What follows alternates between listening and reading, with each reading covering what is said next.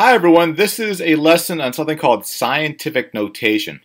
So the first two pages of your study guide here, uh, you're going to have to take notes. And then once this is done, you're going to have a chance to try some problems on your own. And then you can see how you did at the end. Alright, so first things first, what exactly is scientific notation? Alright, and scientific notation is a way of writing really large and small numbers. Alright, so it's a way of writing large and small numbers.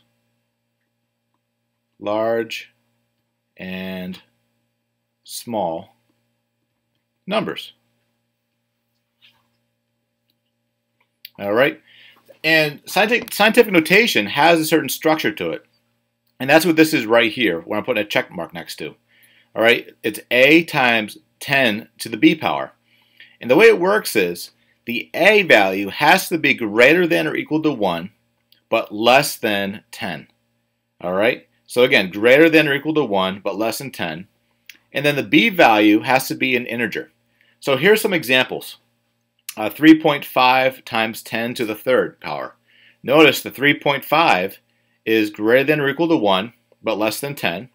And in this case, the b value is the, the 3. And this next example, 1.2 times 10 to the fifth, well, our a value is 1.2 because it's greater than or equal to 1, and our b value is 5. And last, we have 5.68. That's going to be our a value. And then the b value, this time, is a negative 4. All right, so here's some examples. Let's say we have uh, the number 45,000, and we want to write this, okay, in, in scientific notation. Well, right now, 45,000 is written in something called standard form. All right? So remember, the key thing is we have to have an A value and then times 10 to the B value. All right? Now, for our A value, we're going to put a decimal point between the 4 and the 5, making it 4.5. So it's going to be 4.5 times 10. Now the question is 10 to the what power? And here, think about it. If we have a decimal point here, to go from this to this, we're going to need to multiply it by 10 times 10 times 10 times 10. So it's going to be 4.5 times 10 to the fourth power. All right, example number two. We have 186,000.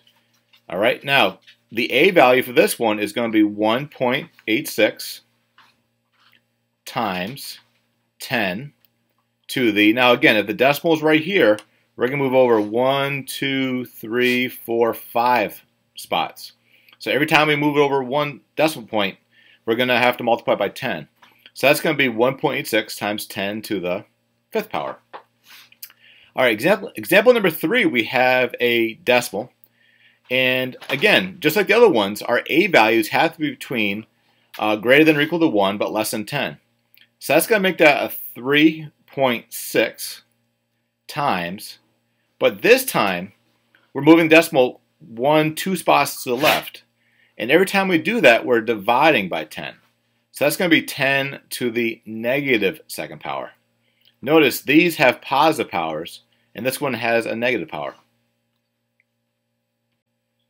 All right, last but not least, now we're going to take a number that's written in scientific notation and put it back in standard form.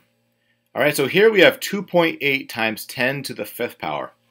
So for this one, we're going to have 2.8, but we're going to multiply the 2.8 times 10 times 10 times 10 times 10 times 10.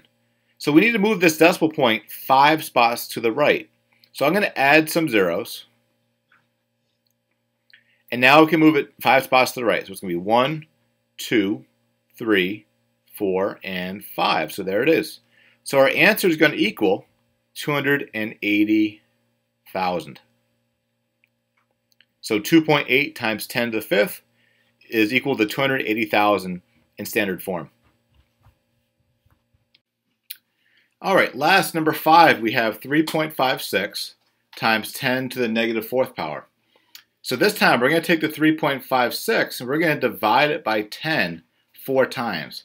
And remember, every single time you move it, the decimal one spot to the left, you're dividing by 10.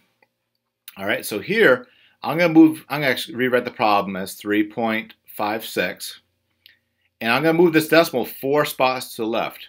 So there's 1, but I need to add some zeros. So one, two, three, and 4. So it's going to be point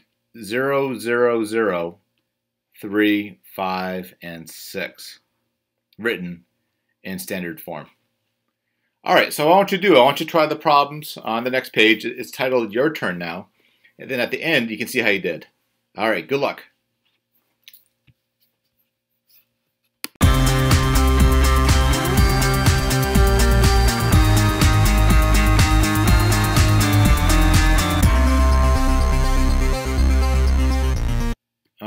Welcome back. Let's see how you did with these problems. Okay, so the first part, you had to identify which of these are written in scientific notation.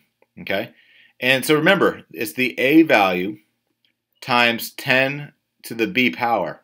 And remember, this A value has to be greater than or equal to 1, but less than 10. All right, so if you notice this first problem, 35.2 times 10 to the fifth, this right here doesn't work, right? So that is not written in, written in scientific notation.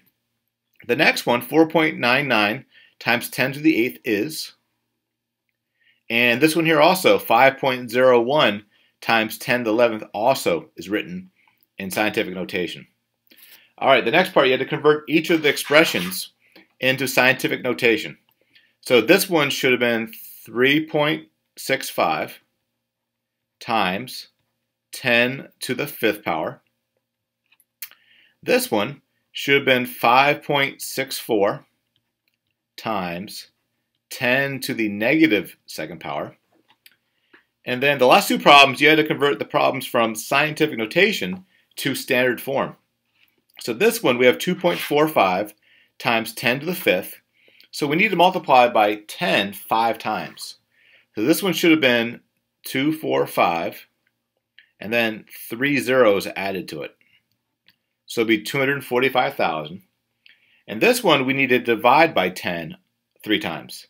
So this one should have been 0.003243. All right, how'd you do?